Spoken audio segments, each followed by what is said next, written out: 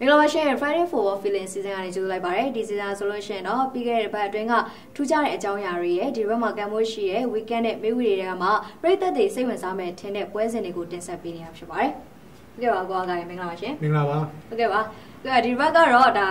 ဘယ်လိုပြောမလဲ Premier League တော့မရှိဘူးပေါ့နော်ဒါပေမဲ့ FA အဲ FA မှာတော့ဒါပွဲကြီးပွဲကောင်းတစ်ပွဲတော့ရှိနေပါတယ်ဒီဘက်ကတော့ချက်စီနဲ့ဒီ United ပွဲပေါ့နော်ဒီနှစ်တင်းစလုံးကဒီ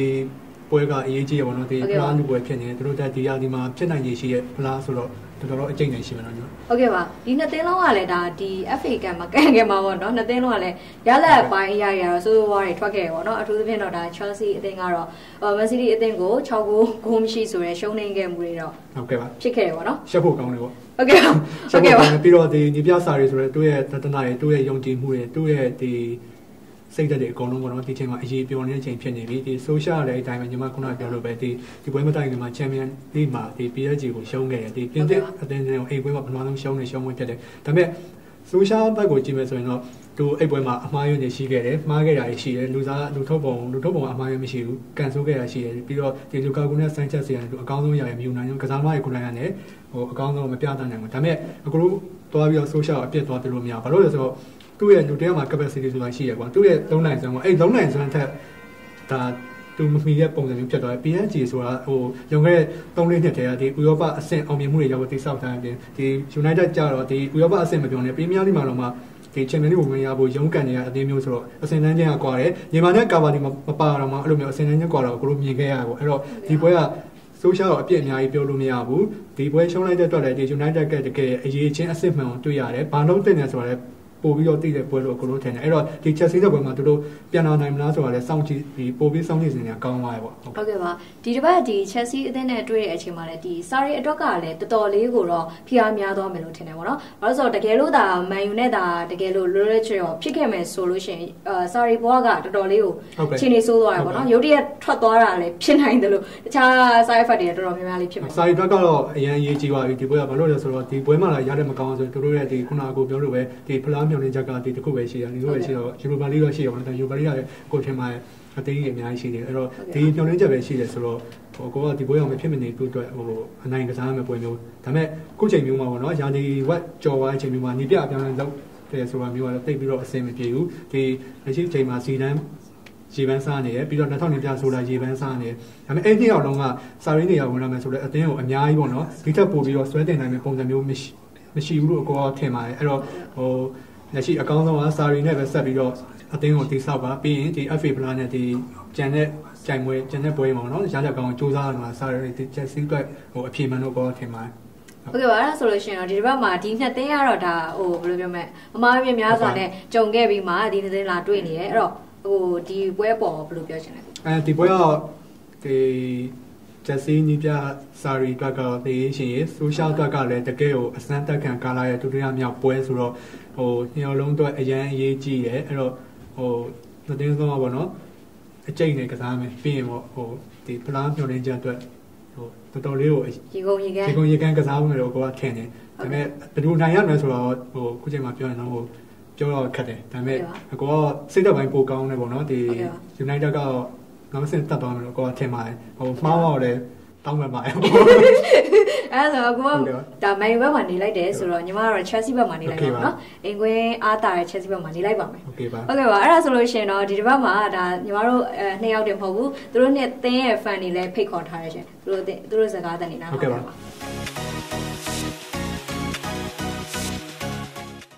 ဟုတ်ကဲ့ပါဒီရက်မှာဆိုလို့ရှင်တော့ဒါ FA Villa fifth round မှာဆိုလို့ရှင်တော့ဒါပွဲကြီးပွဲကောင်းတစ်ပွဲတော့ရှိနေပါတယ်ဒါကတော့ Chelsea အသင်းနဲ့ Manchester United တို့ကတော့ထိပ်တိုက်တွေ့ဆုံနေပါတယ်အဲဒီတော့ဒီနှစ်သင်းရဲ့ fan တွေကိုလည်းဖိတ်ခေါ်ထားပါတယ်မင်္ဂလာပါကိုလေးမင်္ဂလာပါဟုတ်ကဲ့ပါအရင်ဆုံးမိတ်ဆက်ပေးလိုက်ပါဦးဟုတ်ကျွန်တော်နာမည်ကတော့ကကရိတ်ပါပဲဟုတ်ကဲ့ကျွန်တော်နာမည်တော့ပြီမောပါခင်ဗျာဟုတ်ကဲ့ပါတွေ့ရတာဝမ်းသာပါတယ်ဟုတ်ကဲ့ပါဒီဘက်ကတော့ဒါ Chelsea ကော Man Manchester United ကောနည်းနည်းလေးအခက်အခဲတွေ တွေ့ခဲ့တဲ့အပတ်တွေလို့ပြောရမယ်နော်အာ Chelsea ဆိုရင်လည်းဒီ Man City ကိုဒါဂိုးပြရှုံးနေမှာဒီပွဲဒီဟာကြီးကတော့တော်တော်လေးကိုရုပ်ရုပ်ဆိုးတယ်ပေါ့နော်ဒါအသင်းကြီးတစ်သင်းအနေနဲ့ဒီလောက်ထိမဖြစ်သင့်ဘူးဒါအဝေးကွင်းမှာမှန်တယ်ရှုံးတယ်ဆိုတာမှန်ပေမဲ့ဒီလောက်ကြီးတော့မဖြစ်သင့်ခဲ့ဘူးပေါ့နော်အဲ့အပိုင်းအောင်လည်းအခုအခုရဲ့ခံစားချက်လက်တော်ခံစားချက်သိနေတယ်ရှင်အဲအခုကျွန်တော်တို့အမြင်ပေါ့နော်ကျွန်တော်ဒါကျွန်တော်အမြင်ပေါ့ဒီဇန်နဝါရီအပြောင်းရွှေ့ကာလမှာဟာဇက်တို့ ဘာလို့ဆိုရင်လည်းဒီစာရီရဲ့လက်အောက်မှာဒီနီးပြစာရီရဲ့လက်အောက်မှာသူတို့ရဲ့ခန်းစားချက်တချို့တစိမ့်တဒေတာလေးတွေကနည်းနည်းအပြောင်းရွှေ့ပိုင်းမှာအားသာနေကြတယ်အဲ့တော့ဒီကစားပွဲပေါ်မှာအခုဒီဇန်နဝါရီလအတွင်းမှာပေါ့နော်သူတို့ရဲ့စိတ်ခံစားချက်ကအခုဒီကစားပွဲတွေပေါ်မှာသူတို့အာရုံသိမ့်မဆန့်မဆိုင်နိုင်ဘူးလို့တော့ထင်မိတယ်ဗျအဲ့ဒီအချိန်ကမှဟိုဘယ်လိုပြောမလဲနည်းနည်းအာယုံလွတ်တဲ့အတွက်ကြောင့်သူတို့ကောင်းကောင်းမကစားနိုင်တဲ့အတွက်ကြောင့်တစ်ဖက်အသင်းရအဲ့ဒီဟာရဲ့အားသာချက်လို့ရသွားတယ်လို့တော့ပြောလို့ရတယ်ဗျ ဟုတ်ကဲ့ပါဟုတ်ပါပြီအဲဆိုလို့ရှိရင်တော့ဒါနီးပြအာဆိုရှယ်လက်ထက်မှာတကယ်ဟိုအာရလက်ပိုင်းနေတည်ငြိမ်လာတဲ့အာမန်ချက်စတာယူနိုက်တက်အနေနဲ့လည်းအခုဒီပြီးခဲ့တဲ့ဒီချန်ပီယံလိကတော့ဒါသူတို့မေကိုနောက်တစ်ခုပေါ့ဒါဒီဆိုရှယ်အတွက်ဒါမေကိုနောက်တစ်ခုမှာဟိုလေတော့ပေါ့နော်ဟုတ်ကဲ့ပါသူ့အတွက်ကတော့တော်တော်လေးကိုအဆင်မပြေခဲ့ဘူးပေါ့နော်ဘာလို့လဲဆိုတော့ဒါအိမ်ကွင်းဖြစ်တယ်အိမ်ကွင်းမှာဒီလိုမျိုးအခြေအနေနဲ့ကြုံခဲ့ရဆိုတဲ့အပိုင်းကိုကိုဘယ်လိုပြောချင်လဲဟိုမဖြစ်တဲ့တဲ့အနေထားတစ်ခုဆိုပေမဲ့ ဟိုကျွန်တော်မန်ဖန်နေနေနဲ့ပေါ့နော်ဒီရလက်ကိုလက်မခံခြင်းပဲမဲ့လေလက်ခံပေးရမယ်အနေထားလေ ဟုတ်ကဲ့ပါ ဒါကဟိုစာရွက်ပေါ်ကဇာတ်ကိုကြည့်လိုက်ပါကစားကွက်စာရွက်ပေါ့နော်ရိုးသားပဲကြည့်လိုက်ဟိုအရင်အရင်ကစာအရင်กว่าနေလေအာဘက်မတ်နေနေမှာမှားရူခံပေါ့မှားရူခံမှာပထမပိုင်းမှာတော့သူမတော်ကုန်းတာပေါ့နော်အဲ့လိုအချိန်မှာဒုတိယပိုင်းမထမတ်ပဲကော်နာကနေပေးလိုက်ရကိုပေါ့အဲကိုကနေစရပြီးတော့ဖြစ်သွားပြီပေါ့နော် ဒါကလည်းဟိုကိုသိန်းအမားပါလို့လည်းဖြစ်သွားပေါ့ဒီရလနဲ့ပတ်သက်ပြီးတော့ဟိုအိုလေးကိုအပြစ်ပြောစရာလုံးဝမရှိပါဘူး။ဘာကြောင့်လဲဆိုတော့အိုလေးကို general မှာဘာမှလည်းခြေသိမ်းမခဲ့လိုအပ်တဲ့နေရာပေါ့နော်။အိုလေးကလည်းမတောင်းဆိုခဲ့လို့ရှိရင်ဆွဲလူနဲ့ပဲရအောင်ကြိုးစားခဲ့တယ်။သူကြိုးစားခဲ့တာလည်းလက်တွေ့တစ်ကမ္ဘာလုံးသိတယ်တစ်ကမ္ဘာလုံးလည်းမြင်တယ်။ အဲ့ဒီလက်တွေ့မြင်တဲ့အတွက်ကျွန်တော်တို့ man fan တွေအကုန်လုံးကတော့အိုလေးကိုထောက်ခံတယ်။ဒီရလက်ဆိုးအိမ်မက်ဆိုးတစ်ခုလိုပဲကျွန်တော်ကတော့ထားလိုက်ပါပဲ။ဟုတ်ကဲ့ပါဟုတ်ပါပြီအဲ့ဒါဆိုလို့ရှိရင်ဒီနီးပြစာတွေပေါ့နော်အခုဒီ Manchester City ကိုရှုံးမိကြတဲ့ကဒါနီးပြစာတွေကိုထွက်စေခြင်းနဲ့အာ Chelsea fan တွေကတော်တော်များမယ်ထင်တယ်ဒါညီမအမြင်ပါနော်အဲ့တော့အကိုရောအခု Sarri ကိုထွက်စေခြင်းလားဒါမှမဟုတ် Sarri နဲ့အတူပါလာတဲ့ Georgian ကိုရောအပေါ်အကိုဘယ်လိုမြင်လဲ အဲစာရီကိုအရင်ဆုံးထွက်ချင်လာလို့ဘေးတဲ့ဘေးကုန်ပေါ့နော်ဟုတ်ကဲ့ပါကျွန်တော်တို့အမြင်ပြောရမယ်ဆိုရင်တော့ဒါချက်စီမာကအဲနီးပြအပြောင်းလဲကခဏခဏဖြစ်ကြတယ်ဟုတ်ကဲ့ပါဘာလို့ဆိုတော့ဒီရှင်းသုံးပြောမယ်ဆိုရင်အုပ်ချုပ်မှုအပိုင်းမှာခဏခဏပြောင်းလဲတဲ့အတွက်ကြောင့်ကစားသမားတွေအနေနဲ့သွေးသစ်ပြန်လောင်းရတယ်အဲကစားကွက်တွေ foundation တွေအသစ်ပြန်ချရတယ်ခဏခဏပြန်လုံနေရတယ်အဲပြန်လုံနေရတဲ့အခါမှာကစားသမားတွေရဲ့ဟိုနီးပြတွေအပေါ် ပြုမှုနေထိုင်မှုကသူတို့အမျိုးမျိုးကြုံတွေ့ခဲ့ရတယ်ကြုံတွေ့ခဲ့ရတဲ့နောက်ပိုင်းမှာသူတို့ရဲ့စိတ်သက်ပိုင်းတွေမှာအစအသင်းကိုနှိုက်ကိုကစူးစိမှုအားနည်းလာတယ်လို့မြင်မိရပေါ့နော်အဲ့ဒီအတွက်ဟိုစာရီကိုထုတ်မလားမထုတ်ဘူးလားဆိုတာထက်ကဒါကျွန်တော်တို့အနေနဲ့လည်းအဲဆုံးဖြတ်လို့မရဘူးတအူးကောင်းတယောက်ကောင်းအနေနဲ့လည်းအဲပိတ်သက်ကရန်တောင်းဆိုလာတဲ့အမြင်ပေါ်မှာမူတည်ပြီးတော့အသင်းပိုင်ရှင်ဘာလုပ်မလဲဆိုတာကိုပဲကျွန်တော်တို့တွေစောင့်ကြည့်ရမှာဒါတို့ ကျွန်တော်တို့ရဲ့ပိတ်သက်ရဲ့အမြင်ပေါ့နော်ဟုတ်ကဲ့ပါအဲဂျာချင်းဟိုကြတော့လေသူ့ရဲ့စာရီကသူ့ကိုခေါ်တယ်သူကစာရီငကိုလက်ထက်တုန်းကဆိုရင်ဒီအသင်းမှာပေါ့နော်ဟုတ်ကဲ့ပါအဲ passport တွေပါသူကောင်းကောင်းဖြန့်ပေးနိုင်တယ်အဲ့ဒီအတွက်ချက်စီမှာဒီကောင်လိုအပ်တယ်ဆိုပြီးတော့စာရီကခေါ်လိုက်တယ်ဟုတ်ကဲ့ပါခေါ်တယ်ဒါပေမဲ့အခုချိန်မှာဂျာချင်းဟိုအနေနဲ့ထင်တဲ့လောက်ခြေစမ်းကို မရသေးဘူးလို့တော့ကျွန်တော်တို့မြင်တယ်သူ့ငကိုကစားတဲ့ကစားပုံကိုသူပြန်မရသေးဘူးလို့တော့ကျွန်တော်မြင်ပြီးတယ်ဒါပေမဲ့သူ့အရင်ကစားတဲ့ကစားပုံတိုင်းကိုအဲရလာမယ်ဆိုရင်တော့ဒါစာရီအတွက်ဒီကစားကွက်ကအန်ဝင်ကောင်းအန်ဝင်သွားနိုင်တယ်ပေါ့နော်ဟုတ်ကဲ့ပါအဲ့ဆိုလို့ရှိရင်ဒီ Georgian ဟိုရဲ့အဲအခန်းကဏ္ဍကရောဒီကွင်းလယ်မှာဘယ်လိုပြောရမလဲကန်တီတို့လည်းရှိနေတယ်နိအဲ့အပိုင်းကထိခိုက်မှုရှိလားဆိုရပေါ့ပေါ့အဲဒါပေမဲ့ဘယ်လိုပြောမလဲကစားကွက်ကနည်းနည်းမတူဘူးဗျ အဲမှာကန်ဒီယာကြောင့်ဖြတ်တင်ဘောဆိုရတယ်သူက pass ball တွေကိုသွားတာများတယ်အဲ့တော့ကစားကွက်ချင်းကတိတ်မတူဘူးသူတို့နှစ်ယောက်မှာတကယ်လို့ DNA မှာသူတို့နှစ်ယောက်ကိုထားပြီးတော့ကစားရမယ်ဆိုရင်တော့ဒါကစားကွက်အပြောင်းလဲပုံမူတည်ပြီးတော့နေရာလူကောင်းလူရလိမ့်မယ်သူတို့နှစ်ယောက်ကရော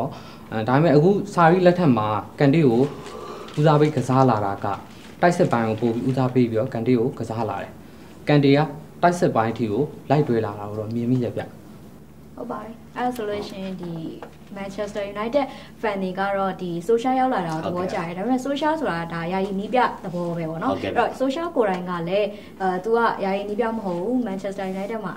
ဒီ อืม နီးပြတယောက်အနေနဲ့ဆက်ရှိခြင်းတယ်လို့လည်းပြောထားတယ်အဲ့အပိုင်းရောအကိုတယောက်အကိုဆိုရင်ရောစိတ်ဆက်ပြီးတော့ရှိစေခြင်းလားပြောပြရအောင် ဟိုလေဒီ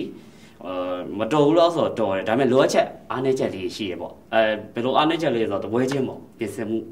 အဓိက big match တွေမှာအရင်သိတာပါ Spa နဲ့ပွဲပေါ့နော်အခု PSG ပွဲအဲ့လိုပွဲမှာသူက plan A တော့ရှိ plan B မရှိလို့ပေါ့ကျွန်တော်တယောက်တည်းအမြင်ကတော့ plan B မရှိလို့ခံစားရတယ်ဒါပေမဲ့သူ့စီမှာရှိနေတာဘာလဲဆိုတော့ခံယူချက်စိတ်သက်ကစားသမားတွေကို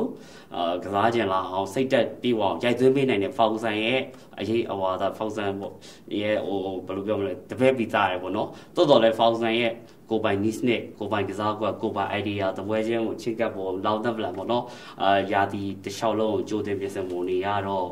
မတူပါဘူးရရှိအနေနဲ့ဟိုဆိုရင်တော့ကျွန်တော်တယောက်တည်းမြင်ဆိုရင်တော့အိုလေးကို ဖြစ်လည်းဖြစ်သေးတယ်ဖြစ်လည်းမဖြစ်သေးချင်ဘူးအတင်းအတွက်ဆိုရင်တော့မဖြစ်သေးချင်ဘူးကျွန်တော်ချစ်တဲ့အိုလေးအတွက်ဆိုရင်တော့အိုလေးကိုအများနဲ့နေပြဖြစ်စေချင်တယ်ဟုတ်ပါပြီဟုတ်ပါပြီအဲ့ဒါဆိုလို့ရှိရင်အခုဆိုလို့ရှိရင်တော့ဒါ fit round မှာပေါ့နော်ဒါ Manchester United နဲ့တွေ့မယ်အဲ့တော့ကို့အသင်းမှာကလည်းဒါလက်လက်လက်တလုံးမှာဒီရှုံးပွဲကြီးကတော်တော်လေးကိုဟို player တွေပုံမှန်လေးနည်းနည်းထိခိုက်မှုရှိမယ်ပေါ့နော်စိတ်ပိုင်းဆိုင်ရာထိခိုက်မှုလည်းရှိမယ်အဲ့တော့ PR တွေလည်းများနေမယ်လို့မြင်နေပေါ့နော်အဲ့တော့အခု Manchester United နဲ့လည်းတွေ့မယ်ဆိုတော့ ဘယ်လိုမျိုးပြင်ဆင်သင့်လဲအသင်းကဘာတွေလိုအပ်ချက်ရှိခဲ့တာလဲပေါ့နော်အဲ့လိုအပ်ချက်တွေဘယ်လိုပြင်ဆင်သင့်လဲအမ်အဓိကတော့စောစောကျွန်တော်ပြောခဲ့သလိုပေါ့ချက်စီအသင်းအနေနဲ့ဆိုတော့အဓိကကစားသမားတွေရဲ့စိတ်တက်ပဲရှင်းသုံးပြောမယ်ဆိုရင်ဟိုနောက်ကဂျွန်တယ်ရီတို့ပါလို့ရှိခဲ့တယ်အဲအဲ့လိုမျိုးဥဆောင်နိုင်မဲ့သူမျိုးချက်စီမှာအခုလက်ရှိမှာမမြင်မိသေးဘူးပေါ့နော်အဲအဲ့လိုဥဆောင်နိုင်တဲ့သူမျိုးတယောက်လောက်သာကောင်းကောင်းရှိခဲ့မယ်ဆိုရင်ဟုတ်ကဲ့နောက်ဆုံးနီးပြတွေဘယ်လိုပြောင်းပြောင်းဒီအသင်းကိုဥဆောင်နိုင်တဲ့သူကောင်းကောင်းရှိရင်ဒီဥဆောင်သူရဲ့ စကားတစ်ခွန်းကြောင်းနဲ့ပဲအသင်းကိုအရာရောက်နိုင်လိမ့်မယ်လို့ကျွန်တော်မြင်မိတယ်ပေါ့နော်အဲ့ဒီအတွက်ကြောင့်အခုသူတို့ဘယ်လိုပြင်ဆင်လာမလဲဆိုတာထက်ကိုဒါအသင်းနှစ်သင်းလို့ကျွန်တော်တို့ပြိုင်မယ်လို့ပြောမယ်အစားပေါ့နော်အဲအခုဆိုရင်လည်းဒါမန်ယူသင်းမှာဆိုရင်ဒီပြကျွန်တော်တို့ဒီဘက်မှာဆိုရင်စာရီဟိုဘက်မှာဆိုဆိုရှာသူတို့နှစ်ယောက်ကဒီပွဲတပွဲကိုပြိုင်ပွဲလို့မမြင်ဘဲနဲ့သူတို့နှစ်ယောက်ရဲ့ပွဲလို့ပဲကျွန်တော်တို့မြင်မိတယ်ဟုတ်ကဲ့ပါဘာလို့လဲဆိုတော့ ကျွန်တော်တို့ဘက်ကစာရီယာလည်းမျက်ခုံးထုတ်နေပြီဒါပွင့်လင်းဆုံးပြောတာဟုတ်ကဲ့ပါအဲသူ့ကိုဖြုတ်တော့မယ်ဆိုတော့အနေထားမှာမျက်ခုံးထုတ်နေဟိုဘက်ကဟိုဆိုရှာအနေနဲ့ကလည်း PSG ကိုသူရှုံးထားတယ်ဟုတ်ကဲ့သူ့အတွက်လည်း pressure ရှိတယ်ဟုတ်ကဲ့ပြည်သက်ရဲ့ pressure လည်းသူ့မှာရှိတာအဲ့ဒီအတွက်ကြောင့်ကျွန်တော်တို့အနေနဲ့ကအခုလာမယ့်ပွဲကကြည့်ကောင်းလိမ့်မယ်ပွဲလို့ကျွန်တော်မြင်မိတယ် ဟုတ်ကဲ့ပါဟုတ်ပါပြီအဲဒါဆိုလို့ရှိရင်ဒါ PSG နဲ့ပွဲမှာဟုတ်တော့ကဲ့ဒါလင်ကန်နဲ့မာရှယ်နာသွားတယ်ဟုတ်ကဲ့နာသွားတော့ဒီ FA Cup ဆိုတာလဲအဲမန်ယူတို့လည်းရေးပါတယ်လို့တော့ညီမတို့မြင်တယ်ဘာလို့လဲဆိုတော့ဟုတ်ကဲ့ဒါဖလားတွေကမရှိတော့ဘူးလေမရှိတော့ဘူးဆိုတော့ဒီဆိုဖတော့လားတွေကရေးပါတယ်ဟုတ်ကဲ့ပါအဲ့တော့ရေးပါနေရမြင်တယ်ဟုတ်အဲ့အချိန်မှာဒါအသင်းကြီးတစ်သင်းနဲ့တွေ့သွားတဲ့အချိန်မှာဒီမာရှယ်နဲ့လင်ကန်နာသွားတာဟုတ်ကဲ့ဘယ်လောက်ထိထိအောင်ထိခိုက်မှုရှိမလဲပေါ့ပြောမှဆိုတော့လမ်းကနှစ်ခွာပြင့်နေတယ် ဟုတ်ကဲ့ပါဘာလို့ရွေးမလဲအဓိကထားရွေးမလဲအိုလေးကိုကြည့်ရဟိုအိုလီဗာကိုဆုံးဖြတ်မလဲပေါ့နော်ကျွန်တော်တင်တော့သူကချန်ပီယံလိဝင်ကိုပို့ဦးစားပေးလိမ့်မယ်အဲ့အတွက်အဲ့လိုဦးစားပေးမယ်ဖြစ်တဲ့အတွက်ပြီးတော့မကစားတဲ့ကစားသမားတွေပေါ့နော်အဲသူတို့တွေကိုလည်း chance ပေးလိမ့်မယ်တင်တယ်အဲ့တော့ဟိုအပြောင်းအလဲလေးနဲ့ထွက်လာမယ်အဓိကကစားသမားတွေလည်းပါလာလို့ရှေ့တက်မှာတော့လူကကူဖြစ်လာမှာပါအသင်းတိုင်းအသင်းတိုင်းနဲ့အရေးပါတဲ့ချန်ပီယံလိကိုအဲ့တော့စာရီမှာ3လမ်းရှိတယ်အိုလီမှာ2လမ်းပဲရွေးရတော့မယ်အဲ့တော့အခက်အခဲပုံများစာရီတော့ စောင့်ကြည့်ရမှာဒါပေမဲ့ Chelsea ကအင်ကွင်းအရန်ကောင်းတယ်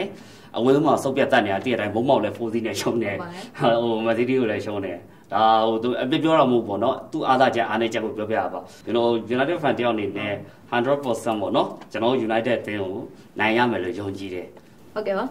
ဟုတ်ပါပြီအဲ့ဒါဆိုလို့ရှိရင်ချက်စီကရောဘယ်အခင်းချင်းနဲ့ထွက်လာမလဲဒီ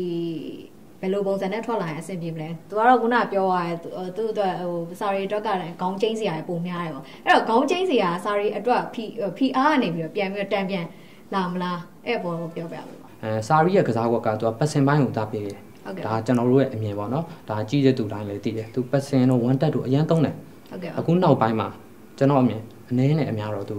ပြောင်းလဲလာလိမ့်မယ်လို့သူထင်တယ်ဟုတ်ကဲ့ပြီးခဲ့တဲ့ကျွန်တော်တို့တွေရှုံးသွားတဲ့ပွဲတွေမှာဆိုရင်သူကစားကွက်ကအသေးကြီးပဲဟုတ်ကဲ့ ဒီကစားကွက်နဲ့ပဲသွားတယ်သူပတ်စင်နဲ့သွားတယ်လုံးဝ one tat ကလေးနဲ့သွားတယ်အဲ့တော့တစ်ဖက်အသင်းကသူ့ရဲ့ကစားကွက်ကိုလုံးဝအလွတ်ရရှိမိနေဟောအလွတ်ရနိုင်ခြင်းကမှပိတ်တယ်ပိတ်တော့သူ့အနေနဲ့ကကစားကွက်ကမထွက်တော့ဘူး။နောက်ဟာဇက်ကိုဥတီဆော်တဲ့ထောင်ဟာဇက်အနေနဲ့ကလည်းစောစောကျွန်တော်ပြောသူဇန်နဝါရီပြောင်းရွှေ့ကာလမှာသူ့ရဲ့စိတ်ကနှစ်ခွာဖြစ်နေရည်ရွယ်ပဲသွားမလားသူဒီမှာပဲနေရမလား။နောက်စာရီရဲ့စိတ်သက်ပိုင်းဆိုင်ရာတိုက်ခတ်မှုလေးရှိတယ်။ရှိတော့ဟာဇက်အနေနဲ့ဘယ်လိုပြောမလဲတယောက်တော့ကအဲ့လိုမျိုးစိတ်သက်ပိုင်းဆိုင်ရာတိုက်ခတ်မှုလေးတွေမှာ မခံနိုင်ဘူးလို့တော့ကျွန်တော်မြင်မိတယ်။အဲစာရီကပြောလိုက်တဲ့စကားရဲ့တချို့စကားတွေမှာဆိုရင်အဲဟာဇက်ကဒီအတင်းရဲ့ခေါင်းတော်ကောင်းမဟုတ်ဘူးဘာညာနဲ့လီဒါမဖြစ်နိုင်ဘူးပေါ့နော်အဲ့လိုပုံစံမျိုးလေးပြောလာလေးရှိတယ်အဲ့တော့ဟာဇက်အနေနဲ့ပြန်ခြေပြခြေပထားတာလေးရှိရပေါ့နော်သူဟာလီဒါမဟုတ်ဘူးသူကကစားသမားပဲဆိုတာမျိုးလေးပြန်ပြောထားမျိုးလေးရှိတယ်အဲ့တော့ဒီ player နဲ့ဒီပြရင်ကြားမှာတယ်နည်းနည်းဟိုစိတ်တိုက်ပိုင်းဆိုင်ရာမြင့်တင်တဲ့စကားလေးမှာတယ်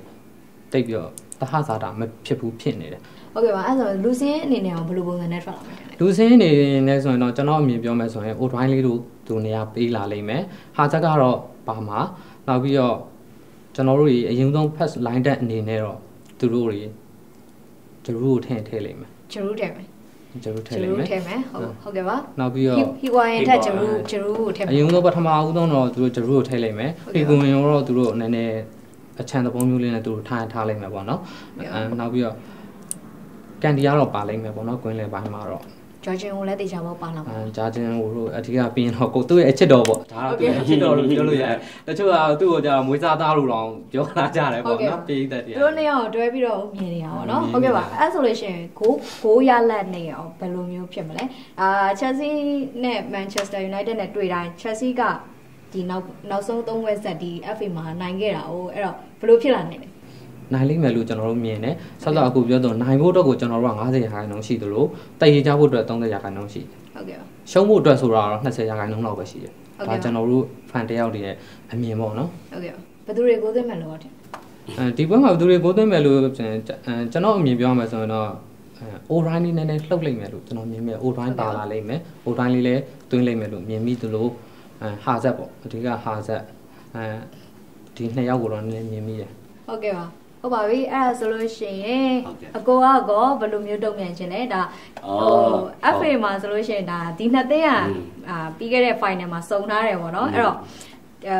မန်ချက်စတာယူနိုက်တက်အနေနဲ့လည်းနည်းနည်းလေးဒဏ်ရာရှိအဲအဲဒဏ်ရာပေါ်မှာဒီတစ်ခေါက်ရောဘယ်လိုတုံ့ပြန်အိုလီတုံးနိုင်တာကဟာရီယာပြန်သုံးမယ်ဒီပွဲမှာဘော့ပါသုံးမယ်အဲနောက်တစ်ယောက်ကမာတင်နေမှာမတ်တော်မီနေလာမလားဖရက်လာမလားပေါ့နော်အဲ့တစ်ချက်ကြည့်ရမယ်တစ်ဖက်မှာလည်းဂျော်ဂျင်ဟိုပေါ့ ချက်စီရဲ့ဟို playmaker ဂျော်ဂျင်ဟို pass တွေကထုံးတယ်နာဗိုလီမှာတော့လို့မကောင်းတော့ဘူးလေအဲ့တော့